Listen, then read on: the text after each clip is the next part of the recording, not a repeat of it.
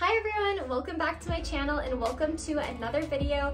Today I am so excited to be sharing with you guys everything I went through in my second trimester of pregnancy. Second trimester, if I'm not mistaken, goes from 15 weeks to 26 weeks of pregnancy and I am currently 32 weeks pregnant. So I am well out of my second trimester and I have a lot to share with you guys. I feel like my second trimester went by so incredibly fast. Like I can't believe I'm already towards the end of my pregnancy. It's honestly gone by super, super quick.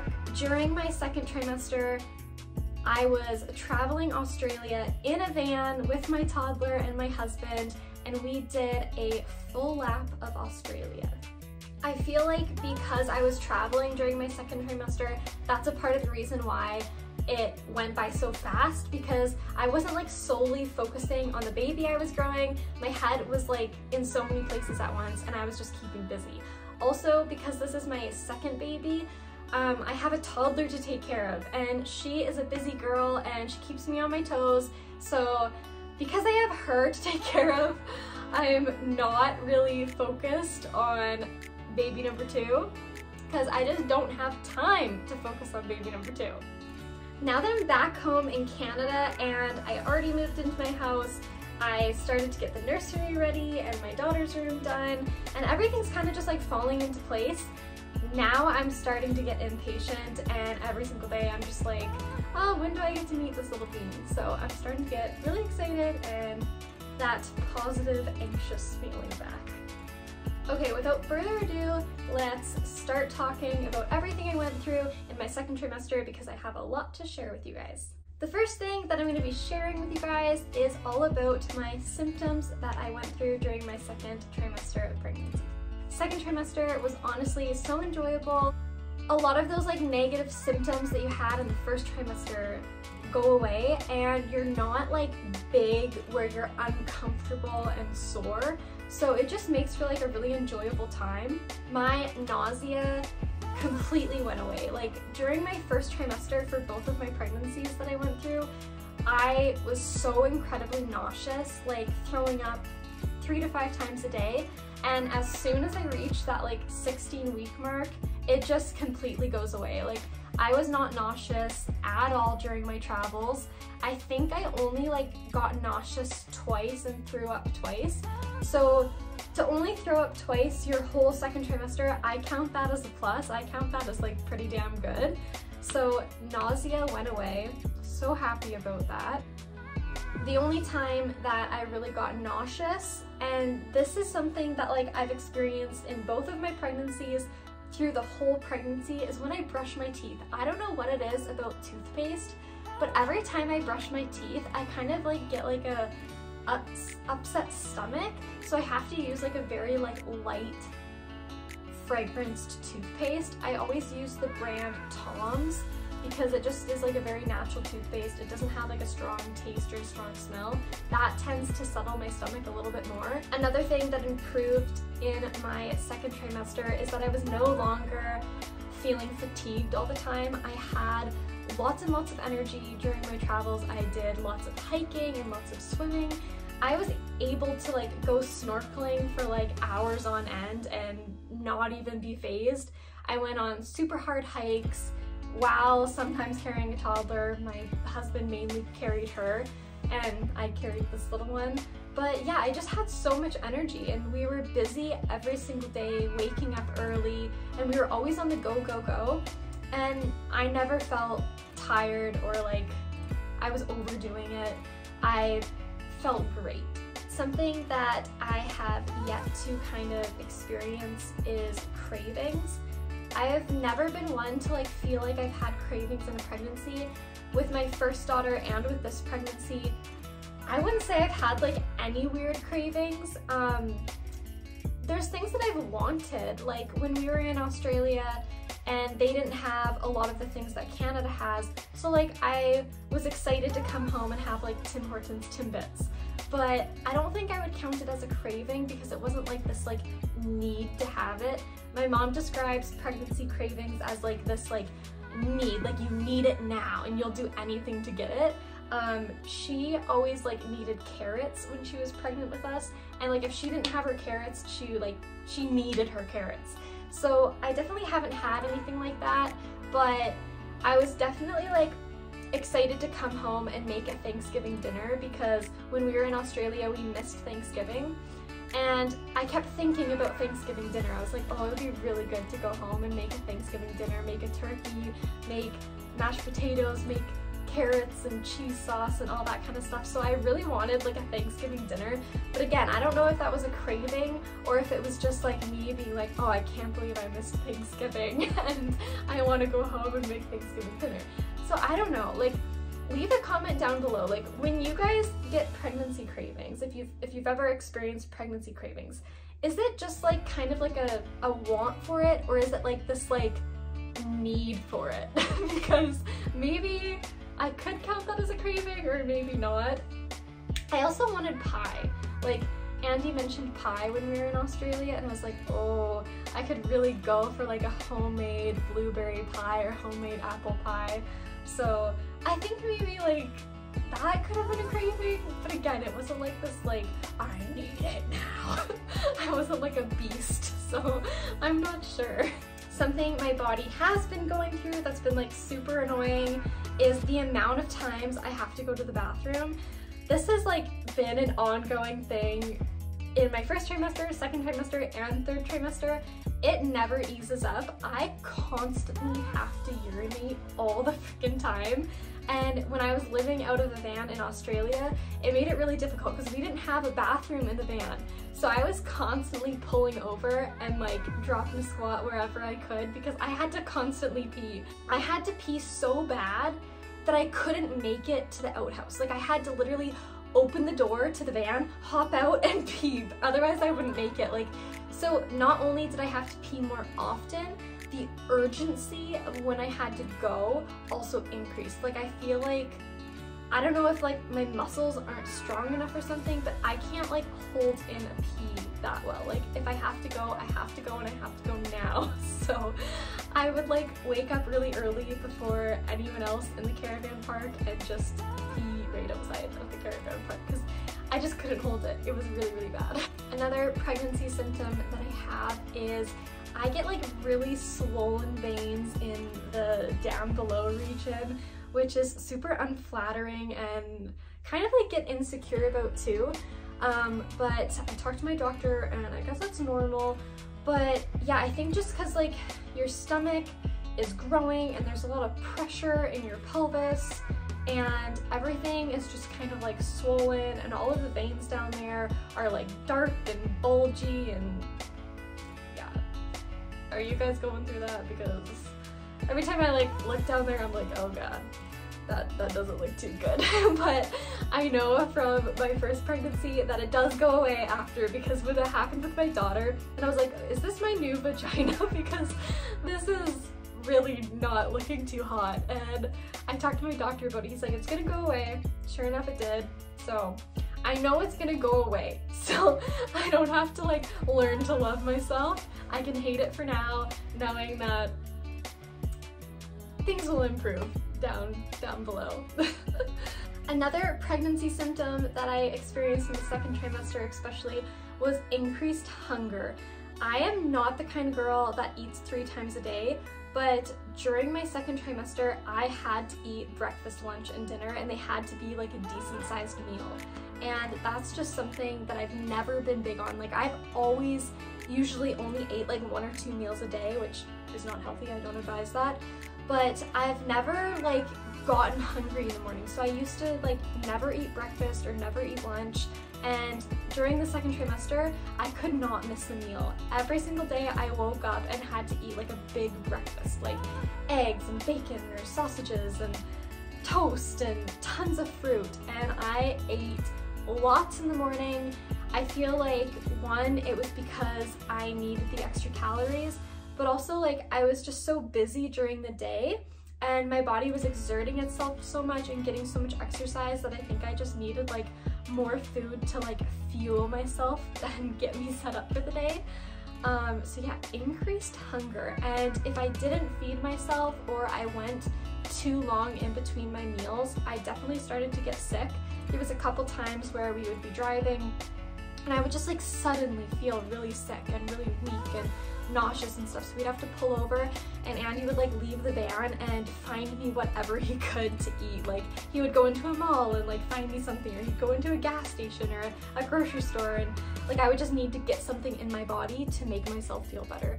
Something that is different in this pregnancy than my first pregnancy is to do with my boobs. Um, I remember with my first pregnancy, my boobs right away got like really sore and tender to the touch.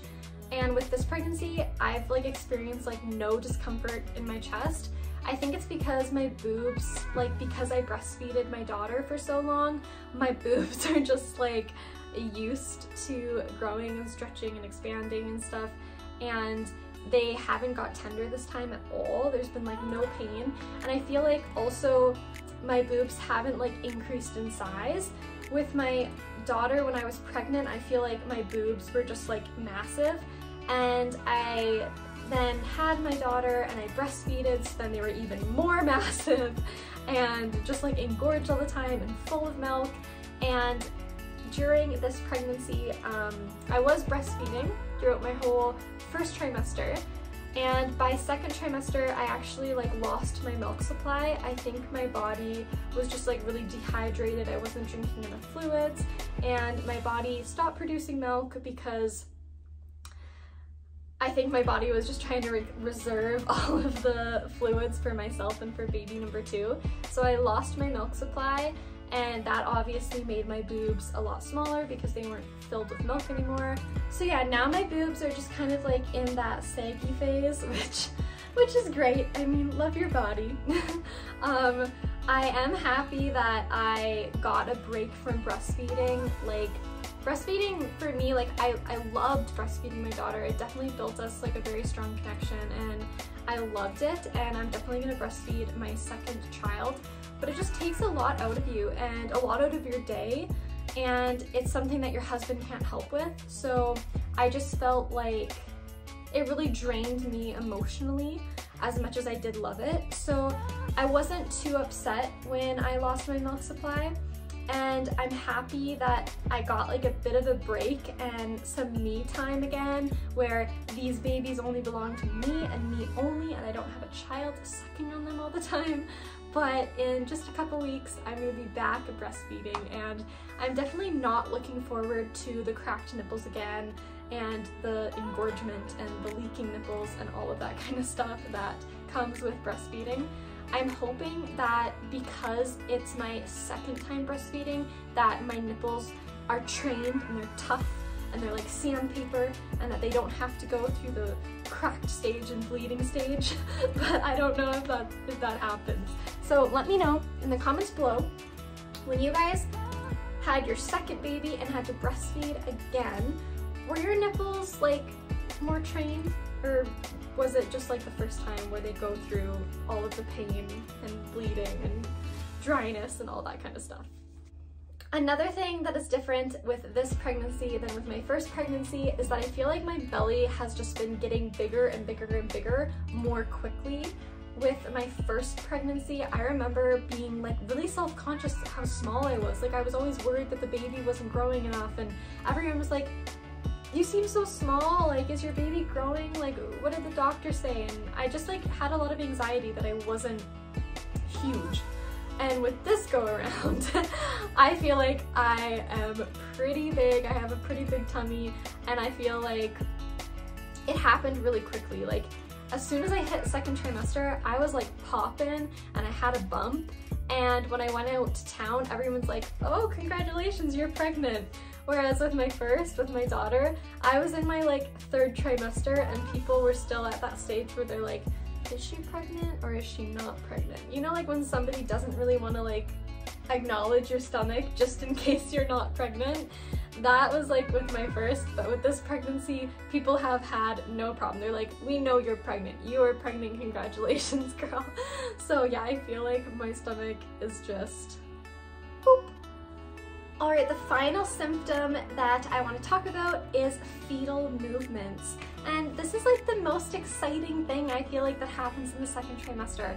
I have always like been able to feel baby move really early on with both my first pregnancy and with this pregnancy. I want to say I was like 16 weeks and started to feel that like fluttering and this go around I feel like I was only like 16 weeks when I actually felt like little kicks and they're definitely like very subtle and very gentle, but I definitely felt them really early on. And I feel like um, if you're just like very like conscious about your body and very in tune with your body, then you're more likely to feel those movements.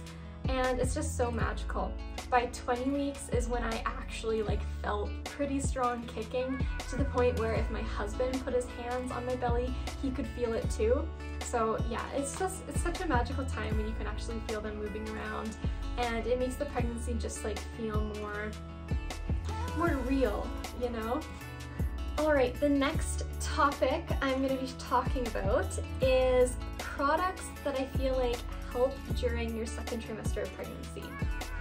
First, make sure you always have a water bottle on you, stay hydrated.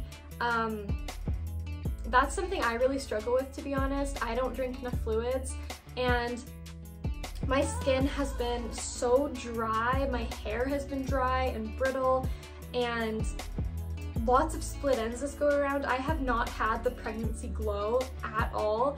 I was also like in the sun during my travels for like two months, just like a lizard absorbing all of the sun rays.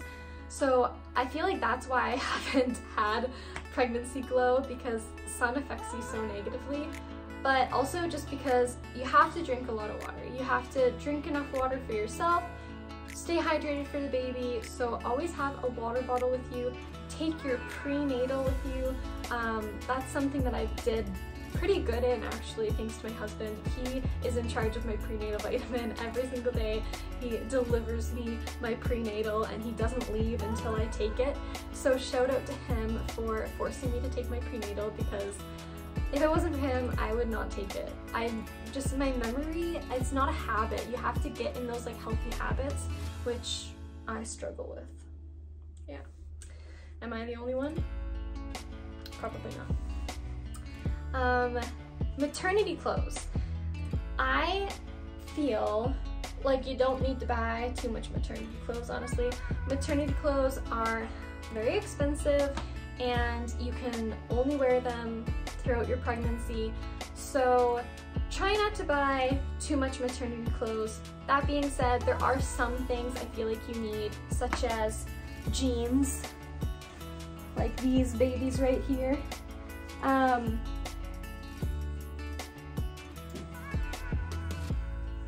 it's like impossible to wear jeans that aren't maternity. Like your jeans aren't gonna fit you, girl. I actually put a pair of my old jeans on today just to see I was not helpful. And yeah, like there was not a chance they were doing up, like not even in the slightest. So if you like to wear jeans, you're probably gonna have to invest in a one or two pairs, don't go crazy, one or two pairs of maternity jeans. But other than that, just wear leggings and sweats and loose things, skirt.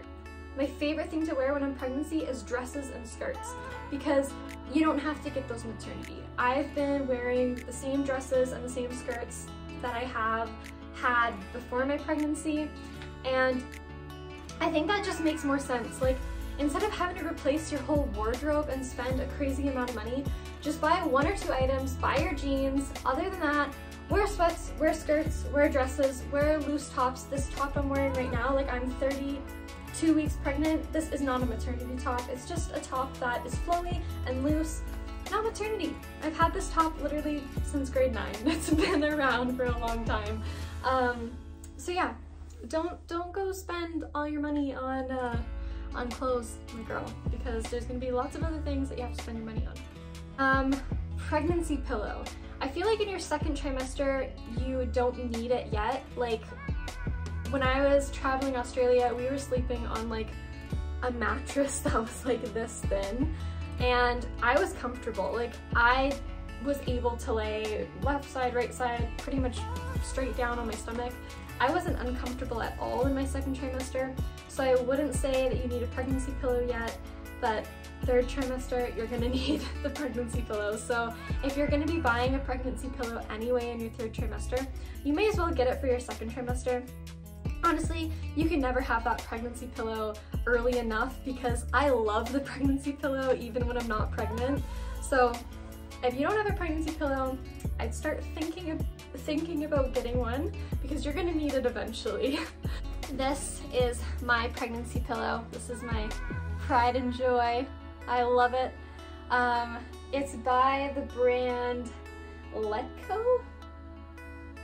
I don't know, never heard of that, but it's amazing. It's super comfortable. You can also use it for like a nursing pillow after baby's born. And I use this thing when I'm not pregnant, you guys. I just love this pillow, but it's actually a must for your third trimester. Like I could not sleep without this during my third trimester. So get this baby right there. Um, the next product that I swear by, that I really, really recommend is this baby right here. This is Belly Butter by the brand Rocky Mountain House and I swear by this guys. I use this like it's not looking too hot right now because I like lather this on my body. I use this every day, multiple times a day. It's amazing for everything. I put it on my face, which I, I don't know if that's good, but like I said, I've been so dry, so when I'm feeling really dry, I put this on my face before bed. I put this on my lips. If you have chapped lips, which I've been getting, I lather this on my lips. I put it on my boobs because my boobs are the only place that I actually got stretch marks with my first pregnancy. It's like underneath when my boobs grew. Um, I got stretch marks, so I put it under my boobs and I put it all around my stomach and I even put it kind of like on the pubic area. I just like lather this everywhere, you guys. It's so thick and so rich and it's amazing. And it's, it's all natural and it works wonders. I didn't get any stretch marks on my stomach. I don't know if that's because of this product or if it's just because genetics. I have heard that like stretch, stretch marks can be genetic. I don't know if that's true but it's what a lot of people say. So maybe that's why I didn't get stretch marks or maybe it's because I have this super amazing product that I use all the time to help hydrate my skin and help my skin stretch. The next thing I'm gonna talk about is gender. Oh my goodness. The second trimester is when you can find out the gender of your baby. How exciting. Um, yeah, so around 20 weeks at your 20 week ultrasound, around that time, you can find out the gender of your baby. Is it gonna be a baby girl? Is it gonna be a baby boy? And we still don't know because we're keeping ours a surprise. Um, we went to the 20 week ultrasound and we were planning on doing a gender reveal. So they gave us an envelope that was sealed and they had the gender inside. And what our plan was is to take that envelope to Australia with us and do some kind of awesome gender reveal, whether we took it to like a cupcake shop and gave them the envelope and told them to put the pink or blue in the cupcake and then we eat the cupcake. We were gonna do something. But we left the envelope in Canada by accident. So when we got to Australia and we realized we left the envelope, we're like, by the time we get back, we're already gonna be in the third trimester. So we may as well, if we if we lasted that long without knowing the gender and without like buying clothes for a girl or buying clothes for a boy, we may as well just keep it a surprise and go the full way. So that's what we decided to do. So I'm actually so excited to not know the gender this time. I never thought that I would keep it a surprise. I always thought that I would wanna know, but I'm really happy that this is the way the cards played out. There's like a couple people that I know that also kept it a surprise and they thought it was like such a magical time. You're in the delivery room and you have no idea and then baby's born and it's like it's a girl or it's a boy. So I'm really excited to have that moment. So yeah, that leads in to the next thing I'm going to talk about, which is our names that we're choosing. So because we don't know the gender, we have chosen a name for both a girl or a boy. We've already made our decision, which is I think something to be thankful for. I feel like a lot of people struggle, like a lot of couples struggle with choosing a name for their kid because it's such a big decision and people just have different tastes. So my husband is Lebanese and all of like the names he's suggested are like things that I can't even pronounce. I'm like, okay, this is the one thing, this, this is it. I'm not gonna name my kid something that I can't pronounce myself. So yeah, I, I can't even think of an example, but there's so many Lebanese names that I cannot say. And that's my boundary. I'm like, I'm not naming something that I can't pronounce. So we kind of like struggle picking names together because he would love to have like an Arabic name and I'm not really for most of them. So, um, but luckily we agreed on both a girl name and a boy name and I'm so excited. I'm in love with the names. The boy name is something that we've had picked out for a really long time and the girl name is something we had picked out when we had my daughter. We were like, if we don't name her Alethea, then we'll probably name her this. So we've kind of had that name picked out for a while too. Um, I'll give you guys a little hint. It starts with an A for both a girl or a boy because my name is Ally, my husband's name is Andy, our daughter's name is Alethea. So we're keeping with the theme of A's and we'll probably for all of our kids pick a name that starts with A. Alright, well we're kind of getting towards the end of the video. I do want to show you guys a bump update, so I'm going to do that now. Let's show off the baby bump. This is the baby bump at 32 weeks. So yeah, I'm out of the second trimester, but here's the bump. Nice and round, belly button has popped out.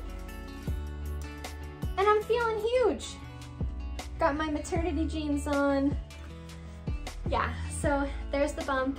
I'm feeling big, I'm feeling uncomfortable, and I can't wait to be recording my third trimester video because third trimester is a whole other journey and it's difficult. It's you you go from being so comfortable and having so much energy and feeling so great and then you enter third trimester and it starts to go downhill again. Um, lack of energy, just constantly feeling uncomfortable and huge and having a hard time sleeping and all, all of that fun stuff.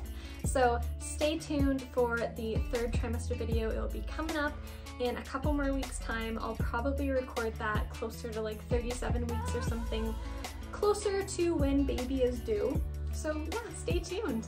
Um, thank you guys so much for watching. I hope this video was very helpful for you if you are entering your second trimester and have questions.